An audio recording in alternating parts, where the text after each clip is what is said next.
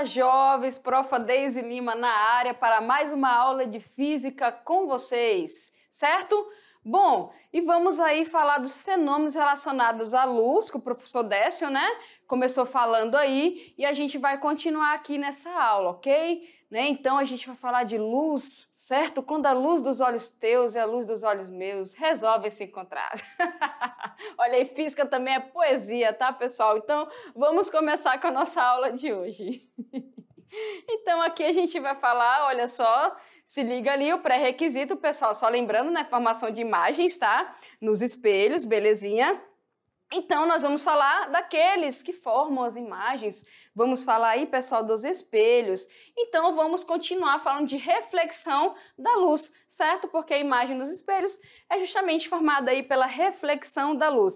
Bom, a gente tem aí espelhos esféricos, né? Que são ele côncavos e convexos, ok? A gente tem é, que esses tipos de espelho ele tem focos, tá bom? E a gente vai trabalhar aí a formação de imagens, tá certo? Então vamos lá, pessoal. Espelhos esféricos. Chamados de espelhos esféricos, toda superfície refletora com a forma de uma calota esférica, ok? Que ao refletir a luz forma uma imagem. Entendido isso, pessoal? Então é algo arredondado, certo? E nós temos aí basicamente dois tipos de espelho esféricos. Bom, quais são? Nós temos aí, pessoal, o espelho esférico côncavo. Ele tem esse nome porque a parte refletora, a parte que vai refletir a luz, é a parte de dentro, como vocês podem ver nessa imagem certo? Então esse é o nosso côncavo. E espelho cuja face interna da calota reflete a luz, certo? Então esse aí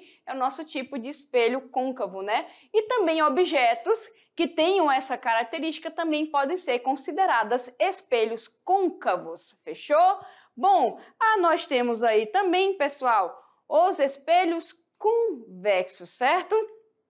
Se o côncavo é a parte interna, o convexo vai ser a parte o que externa. Então, no nosso espelho aí Convexo, a parte refletora, certo? É a parte externa, ok? Ela que vai refletir a luz aí. Então, qualquer objeto cuja né, a parte externa reflita essa luz aí formando algum tipo de imagem, se ele tiver a característica né, arredondada, você pode considerar como espelho convexo. Fechado? Entendido isso?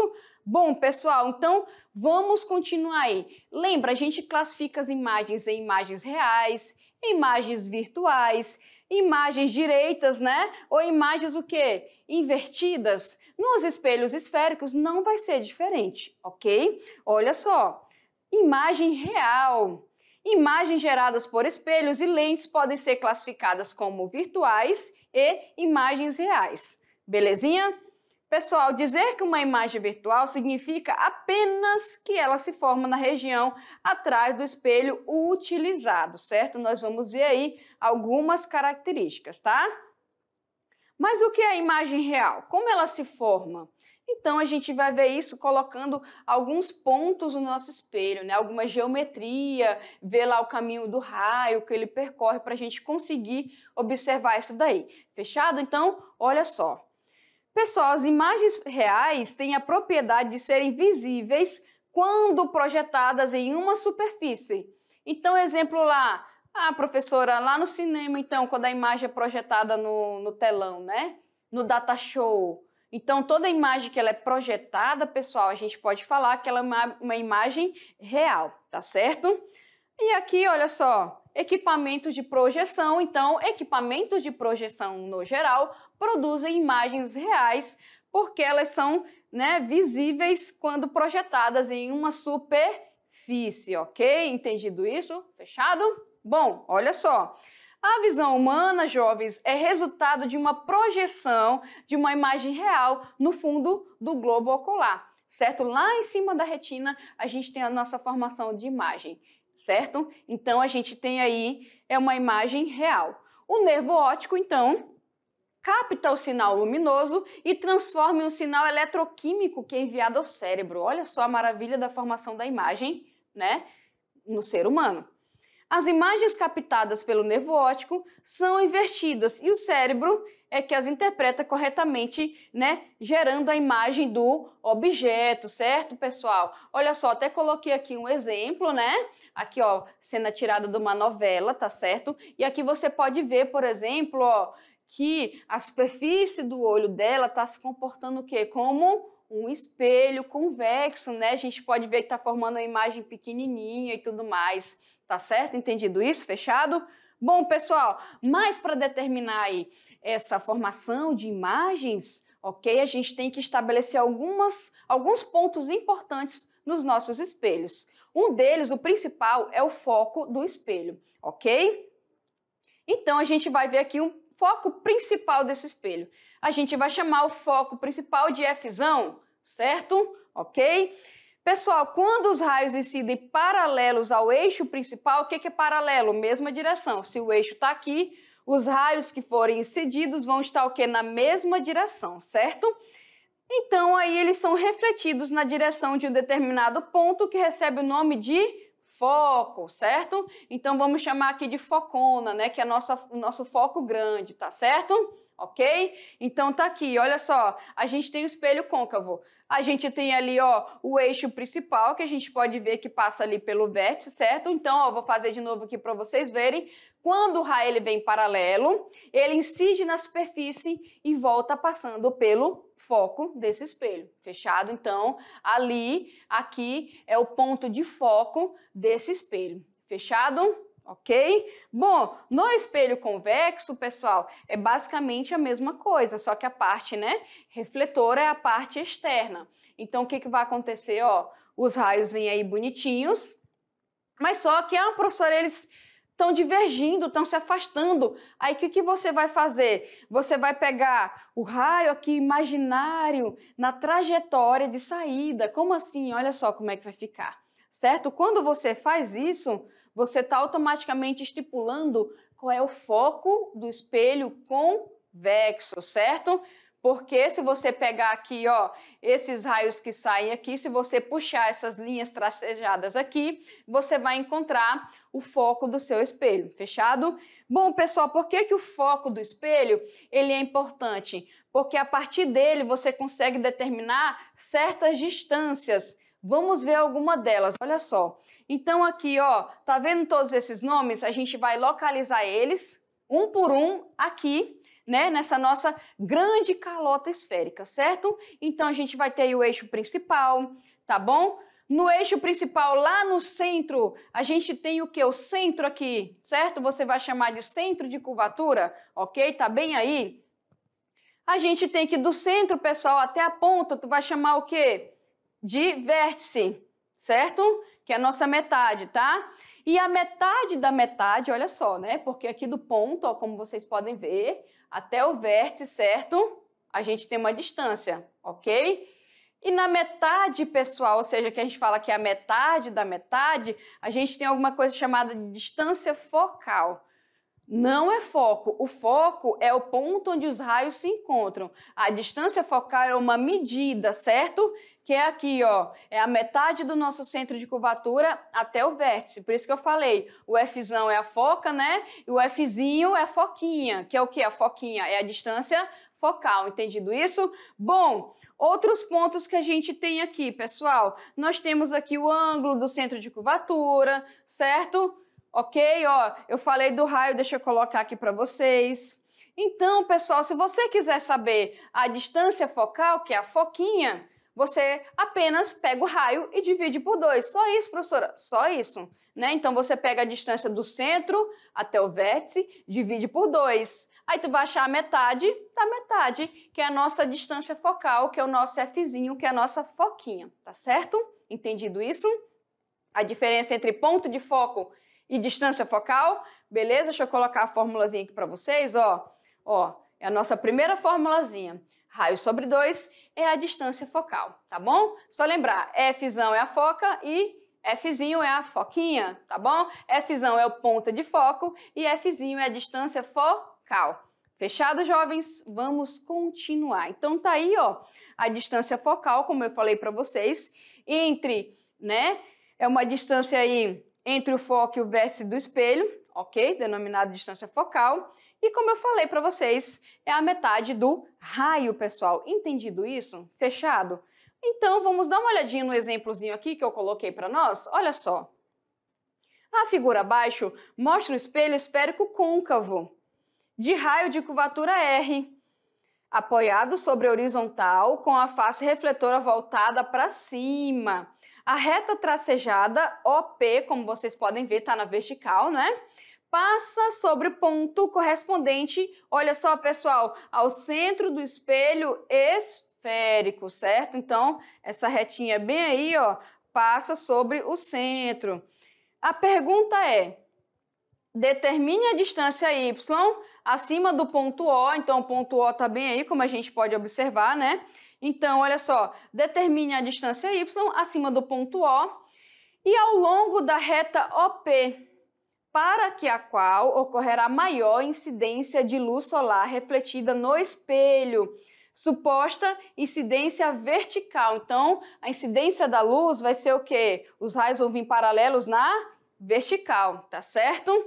De modo que os raios incidentes são paralelos e próximos ao seu eixo principal, pessoal. Assinale a alternativa que apresenta corretamente essa distância. Pessoal, olha só, no espelho, no espelho, eu vou ter aí uma maior incidência, certo? Quando os meus raios, eles passam pelo ponto do foco do espelho. Então, onde eu tenho maior incidência, né? Se eu quiser, por exemplo, eu tenho uma calota lá gigante. Se eu quiser que algo que eu coloque lá em cima, que seria aquele fogão solar, certo? Num fogão solar, onde é que eu tenho que colocar o alimento para que eu tenha uma maior elevação de temperatura? Você tem que colocar esse alimento onde os raios de luz eles se encontram com mais intensidade. Então, no espelho esférico, todos os raios que vêm paralelos, eles refletem, né? eles incidem na superfície, refletem e vão para o foco. Logo, se você quiser uma maior incidência de raios ali, né, no fogão solar para esquentar o alimento, você tem que colocar essa panela no foco. Então, aqui como ele pergunta, pessoal, né, assinale a distância que apresenta aí, é a alternativa que apresenta essa distância. Se eu quero uma maior incidência de luz,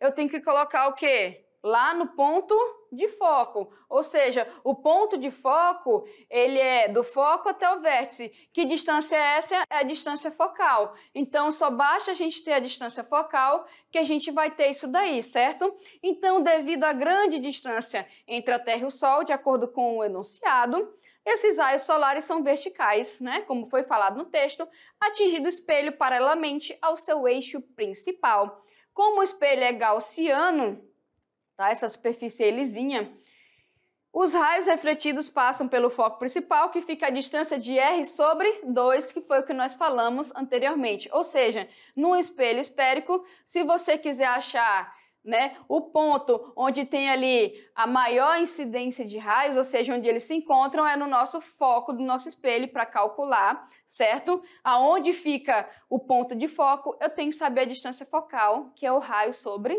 2. Fechado, pessoal? Então aí a gente fica com a letra A, não é isso? A letra A aí a gente vai ter, ó, eu vou até mostrar para vocês um desenhozinho aqui, ó. Os raios eles vão vir, certo? É para vir paralelo nossos raios, ok? Peraí, deixa eu voltar aqui um pouquinho. Ó, tá ali, ok? Deixa eu colocar aqui. Pronto, letra A. Estou olhando aqui para ver se vem, tá, pessoal? Bom, olha só. Visto isso, a gente pode falar de alguns outros, né? É, umas outras propriedades, ok? Bom, olha só, essas propriedades, a gente tem os raios principais, tá? Os raios principais, ele trabalha aí a posição e o tamanho das imagens formadas pelos espelhos esféricos, ok? Podem ser determinadas a partir do comportamento desses raios. Ou seja, a gente tem um padrão, pessoal. O que é esse padrão? Toda vez que esse raio ele incide na superfície do espelho, dependendo de onde está a localização do objeto, ele sempre vai passar por algum lugar específico. E esse casos, né, a gente pode generalizar e falar como é que se comporta aí essas imagens fechadas. Bom, essas imagens elas podem ser o quê? Olha só, direitas ou invertidas, beleza? Né? Se ela é direita, pessoal, ela vai entrar em direitas ou invertidas. ela pode ser direita ou invertida, ela pode ser real ou virtual. E elas podem ser o quê? Maiores, de tamanhos maiores, iguais ou menores que o nosso objeto. Fechado? Entendido isso? Então vamos à nossa primeira propriedade. Olha só, nossa primeira propriedade, ela fala o seguinte: todo raio que incide paralelamente ao eixo principal, olha só, paralelo ao eixo principal, é refletido e passa pelo foco, que é aquilo que nós tínhamos falado antes. E o caminho inverso também ocorre, pessoal. Se você faz um raio incidir pelo foco, ele vai bater e vai ser refletido paralelamente ao espelho. Então, vou colocar o desenho para que vocês vejam melhor. Olha ali, ó. Tá ali o nosso espelítio, certo? Então, o nosso espelítio ali, o que vai acontecer? Ó, temos dois espelhos ali, né? Um côncavo e um convexo. Ó, vai vir um raio bonitinho, eu coloquei os pontos ali para vocês observarem.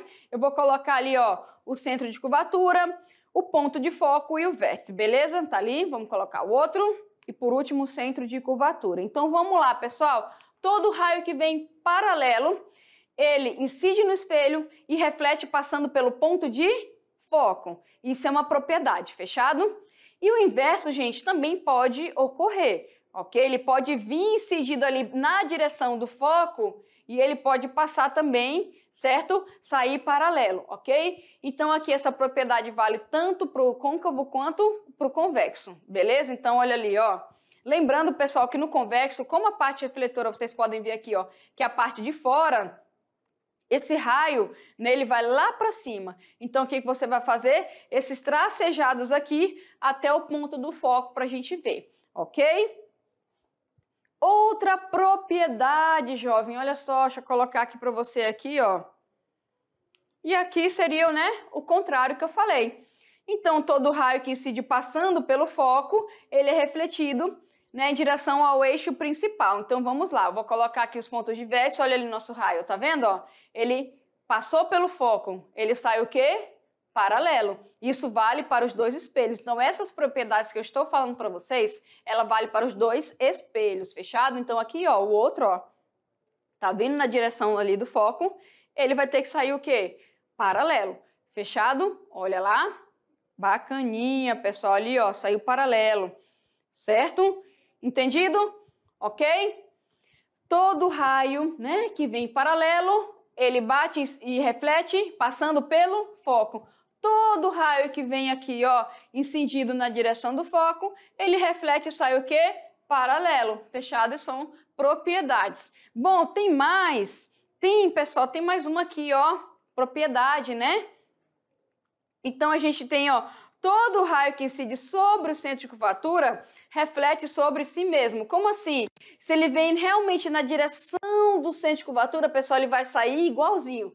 Tipo, ele vai e volta pelo mesmo caminho. Ó, vou colocar aqui para vocês, tá vendo? Ó, ele foi incidido, ele vai voltar pelo mesmo caminho, tá certo? Isso vale tanto para côncavo quanto para convexo, ok? Lá tá na direção do centro de curvatura, ele vai sair na direção do centro de curvatura, certo? Entendido isso, pessoal? Essa também é uma propriedade, fechado?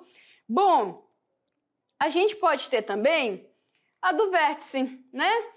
Todo raio que incide sobre o vértice é refletido simetricamente em relação ao eixo principal. O ângulo de incidência é igual ao ângulo de reflexão, então segue aí, né, aquela lei da reflexão que nós tínhamos estudado aí em aulas anteriores. Então tá ali, ó. Ele vem aqui na direção do vértice, ele sai, certo? Com o mesmo ângulo em que ele entrou, esse raio, tá bom? Em relação ao eixo principal aqui. Isso acontece, como eu sempre falo, para os dois tipos de espelho, tá, pessoal? Entendido isso? Fechado? Olha só ali no convexo, ok? E a gente pode ver o quê? Que o ângulo de reflexão é igual ao ângulo de incidência, nesse caso dessa propriedade, quando o raio é incidido bem no vértice. Fechou? Entendido isso? Ok? Bom, sabendo isso, pessoal, essas propriedades desses raios, agora nós podemos entender como é que se formam essas imagens. Ah, professora, se o raio é, ele é geral, a imagem não vai ser geral? Pessoal, aí vai depender o quê? Da localização em que seu objeto está para a formação dessa imagem, ok? Então, as imagens formadas em espelhos esféricos dependem da posição do objeto em relação ao espelho, né? O tipo de espelho, côncavo ou convexo. Os espelhos côncavos são muito usados por mulheres para passar maquiagem no rosto, pois dá uma ampliada aí na imagem. Em ótica, né, pessoal, tem aqueles espelhinhos redondos que ficam lá, quando tu vira, teu rosto fica enorme, né?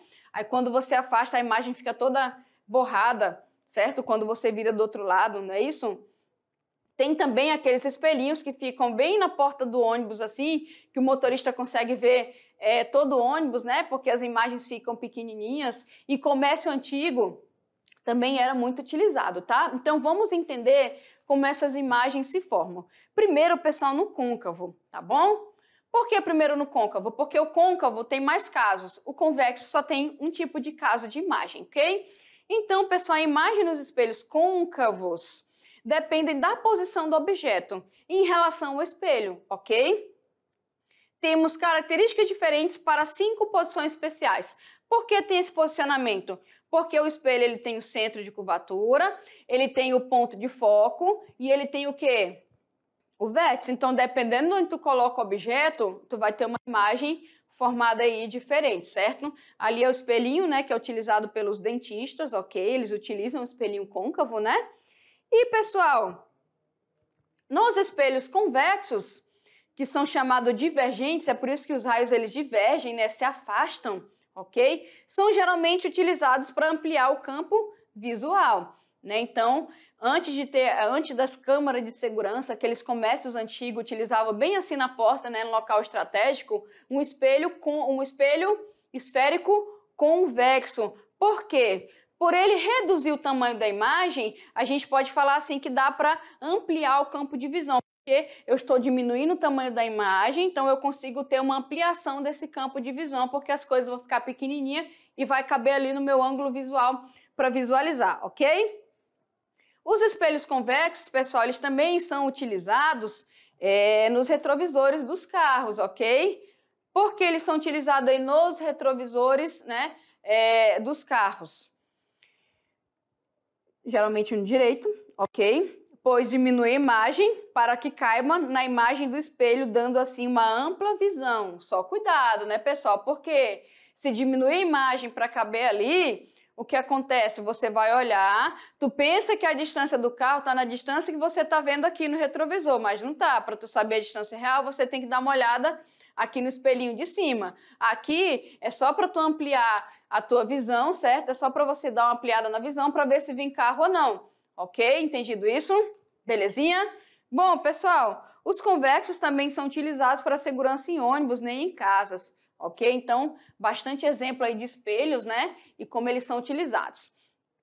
Vamos dar uma olhada nas características, então, da formação da imagem desses espelhos. Olha só, como já falamos, as características das imagens nos espelhos esféricos mudam de acordo quando mudamos a posição do objeto. Como é que eu posso posicionar, então, gente, esse objeto?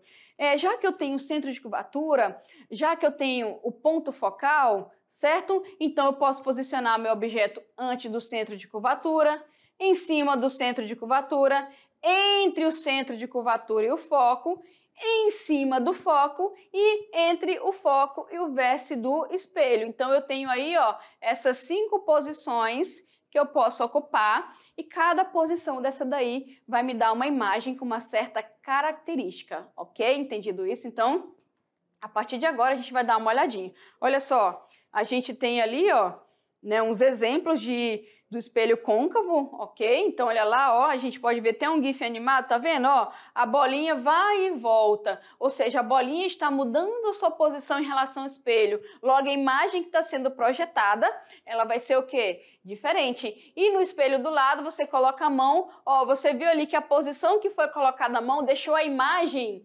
maior, certo? Então, ali depende do posicionamento, certo? Eu vou começar pela posição 1 que eu falei para vocês que é o quê? Objeto localizado antes do centro de curvatura. Então, ó, a gente está ali, ó, o centro de curvatura, o ponto de foco e o vértice, certo? Do espelho côncavo, ok? Vamos usar aqui umas velinhas, tá bom? Umas velinhas para servir de objeto. Então tá ali o meu objeto.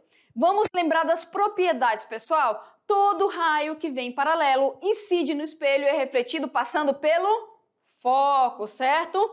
E também todo raio que é incidido na direção do foco, ele reflete e sai o quê? Paralelo ao eixo principal. Então vamos testar essas propriedades aí, ok? Então, ó, primeira, vai passar ali pelo foco. Vamos testar mais propriedade, ó, veio na direção do foco e saiu, certo? Pessoal, você conseguiu visualizar que a gente tem o um encontro desses raios refletidos? Sim, não é? E é justamente ali onde vai ser formada a tua imagem, certo? Bom, a gente pode ver que essa imagem aqui, ó, da velhinha, ela vai estar tá formada aí. Ela é menor, ela tá de cabeça para baixo, então ela é invertida, e ela tá aqui do mesmo lado que o objeto, ou seja, né, na frente do espelho. Então, como é que a gente pode caracterizar? A imagem é real, certo? Está posicionada entre o centro de curvatura e o foco, é invertida e o seu tamanho é menor que o objeto, certo? E isso, pessoal, você pode pegar também que toda imagem que ela é real, ou seja, ela está aqui na frente do espelho, toda imagem que ela é real, ela vai ser invertida, pessoal. Então, isso em todos os casos. Toda imagem real, ela é o que? Invertida ok? Então aqui ó, eu coloquei o objeto aqui, a imagem se formou um pouquinho mais perto do espelho e ela ficou o quê? Menor, ou seja, no espelho côncavo, quanto mais afastado o teu objeto, menor vai ser a tua imagem. Você vai conseguir ver a imagem de cabeça para baixo. Tenta fazer isso com uma colher em casa que você vai conseguir observar ok? Entendido isso? Bom, vamos continuar, pessoal. Nossa segunda posição, né? Nosso top 5 aqui, na segunda posição, a gente tem o objeto em cima exatamente do centro de curvatura. Esse é o caso mais fácil, por quê? Porque aqui, se o objeto ele está em cima do centro de curvatura, a imagem dele vai ter o mesmo tamanho e vai estar em cima do centro de curvatura. Ó, vou mostrar para vocês. Primeira propriedade, paralelo sai pelo foco, entra pelo foco, sai paralelo e o encontro vocês podem observar que é em cima do centro de curvatura. Novamente a imagem é formada antes do espelho e novamente a imagem é o que? Invertida. Se ela é invertida, ela é o que? Real, certo? E aí nesse caso é do mesmo tamanho do nosso objeto, certo?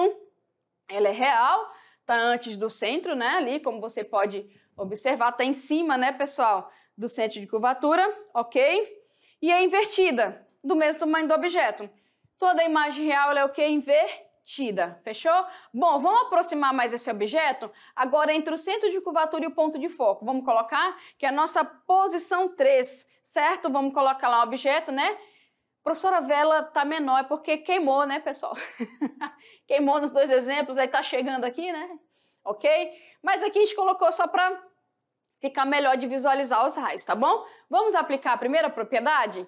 Ó, entra paralelo e sai pelo foco. Entra na direção do foco e sai paralelo. Tá vendo onde esse encontro ocorreu? Ele ocorreu mais para trás.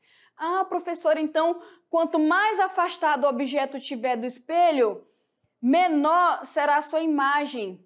Então, quanto eu vou aproximando esse objeto do espelho, eu estou aumentando a imagem, certo? Lembra lá da mão que a gente viu? Vai ser o nosso outro caso que vai ser colocado. A mão que a gente viu lá naquele espelho, ela é o que? A imagem maior que o objeto e não estava invertida. Então a gente ainda vai chegar naquele caso. Nesse caso aqui, o que acontece? Eu consegui uma imagem maior, mas ela está o quê?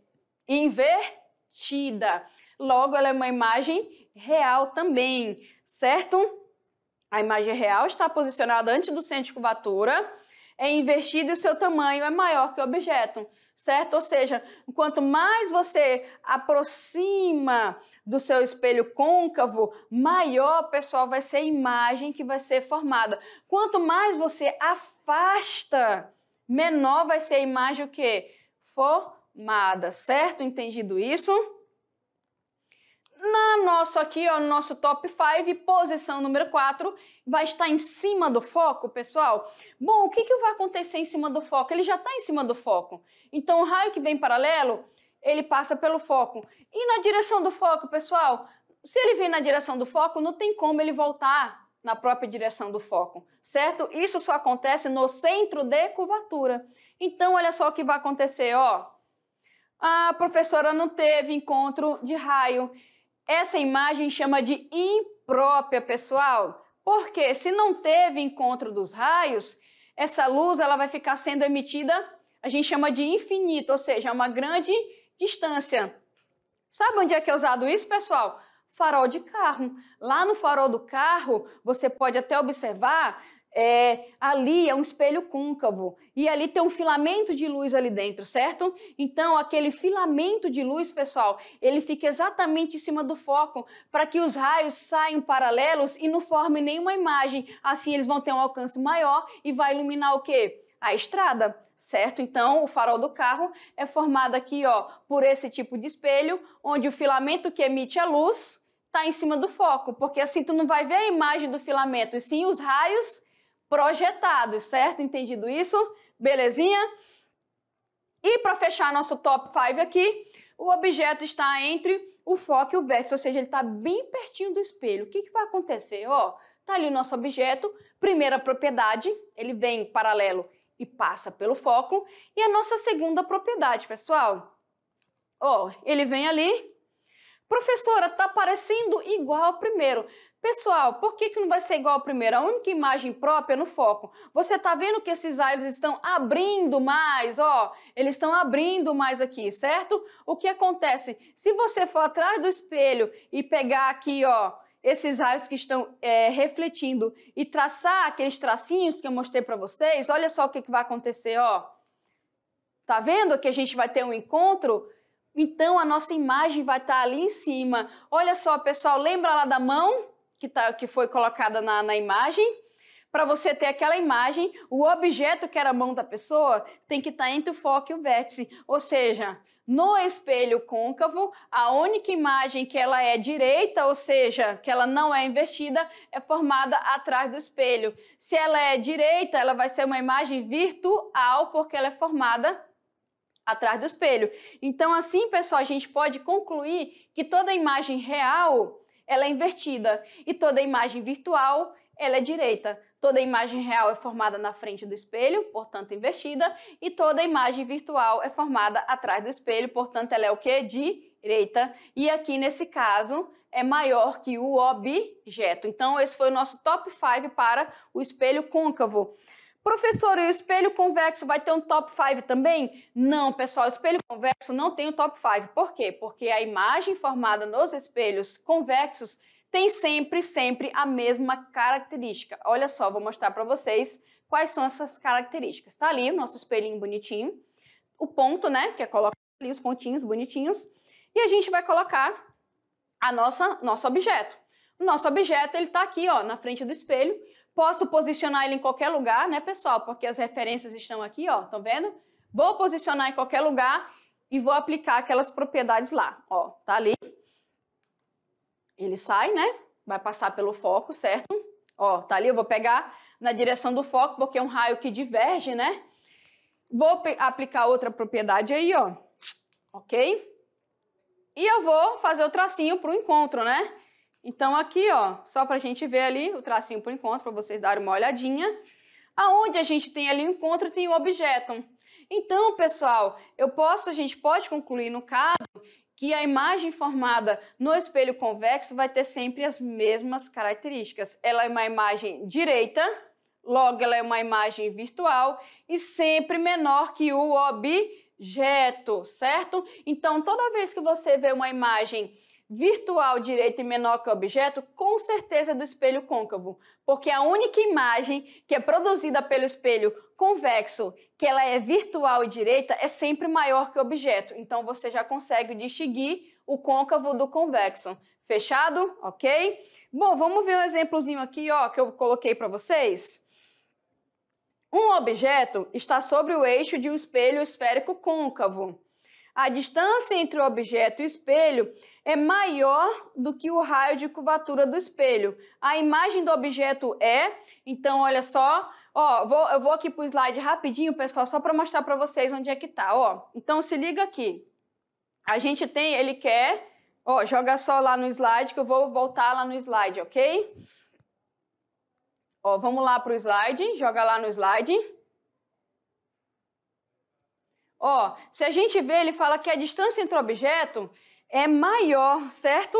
Se, pessoal, a distância é maior, nesse caso aí, ó, o que, que vai acontecer? Ó, o objeto está além do centro de curvatura, ok? Então indica que ele está a uma distância maior que o centro. Ó, vocês estão conseguindo observar ali, ok? Então, se você fizer aqui, ó, o raio ele vem né, paralelo, ele passa pelo foco, certo? E ele fa faz o contrário também, não é? Ele passa ali na direção do foco e sai o quê? Paralelo, certo? Então, nós vimos, pessoal, que esse é o nosso primeiro caso que foi mostrado no nosso top 5 ali, ó. Certo? Nosso top 5. Logo, a gente tem uma imagem o quê? Real invertida e menor que o objeto, pessoal. Fechado? Então, a gente tem aí, ó, vem aqui comigo de novo, a gente tem a letra E, certo? Só sair para mostrar um pouquinho para vocês em tamanho mais ampliado. Então, todo objeto que está antes do centro de curvatura sempre vai ter uma imagem o quê? Real certo? Invertida nesse caso é menor que o objeto. Lembrando, pessoal, que a única imagem direita que é formada nesse espelho é quando o objeto está aqui, ó, entre o foco, certo? E o vértice. Então, quando o objeto está aqui, ó, meu dedinho apontando, aí sim é que você vai ter uma imagem direita, certo? Que é uma imagem virtual e maior que o objeto. Todos os outros casos, as imagens são reais e invertidas. Pessoal, no nosso experimento do dia, formando imagens, olha só o que, é que a gente tem que se atentar. A gente tem aqui, ó, os passo a passo. Você vai precisar de uma concha de sopa bem polida. Lembra que durante a aula eu falei sobre fazer o experimento com a colher? Então você pega lá uma concha de sopa bem lisinha, tá bom? Para que você consiga fazer a observação. Uma colher de sopa, ou seja, tu vai pegar a concha, né, que ela é mais fechada, a colher de sopa, que é mais aberta, e régua e folha de papel, certo? O que, que você vai fazer? Tanto a concha, pessoal, quanto a colher devem estar bem polidas para que você consiga fazer aí as observações, ok? Então, o que, que você vai fazer? Tudo que está pedindo aqui, tá bom? Você vai olhar tanto aqui como a parte externa, belezinha? Feito isso, você vai conseguir fazer algumas observações, tá? Você vai comparar distâncias, você vai ver o quê? A questão das imagens, tá? Então, pessoal, lembra aqui do nosso top 5 do nosso espelho côncavo, ok? Tu vai tentar fazer o quê, ó? Usando o teu braço também, você pode ver aqui a característica da imagem. Quando ela está antes do centro de curvatura, é uma imagem invertida, certo? E menor que o objeto. Quando está em cima do centro de curvatura, é uma imagem de mesmo tamanho do objeto e invertida também. Logo, são imagens reais. Quando está entre o centro e o foco, tu vai ter o quê? Uma imagem que ela vai ser aí, ó, real e maior que o objeto, invertida, certo? Você ainda vai ver a sua cabeça invertida. E quando você não conseguir se ver, significa, né, que você está segurando essa colher onde, né, em cima, ou a cabeça se encontra em cima do ponto de foco certo? Do teu espelho. E o ponto de foco, né, que é a foca, lembra da foca? Até o vértice, a gente tem a distância focal, que é a foquinha, tá bom? Que é o Fzão e o Fzinho. E quando você coloca entre o foco e o vértice, aí sim você vai conseguir ver a sua cabeça exatamente direita, certo? Que a gente fala que a imagem é virtual e maior que o objeto. Então, com isso, você vai conseguir fazer o que está sendo pedido aqui na nossa atividade interativa. E quando você virar a colher, você sempre vai ver que independente da posição em que você coloque, você sempre vai ver o mesmo tipo de imagem. Entendido isso, pessoal, bacana nessa parte aí de espelhos, de entender como é que funciona essa formação de imagens. Bom, depois eu volto com vocês com aquele nosso resumex, tá? Até mais, tchau, tchau.